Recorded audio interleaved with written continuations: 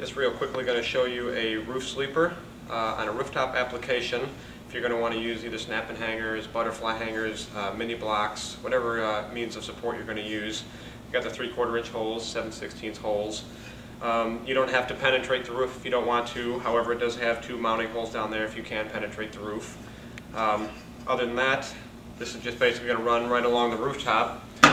You know, one here, one over here, know, about, you know, three feet apart or so, four feet apart, and uh, just run along wherever you need to on the rooftop.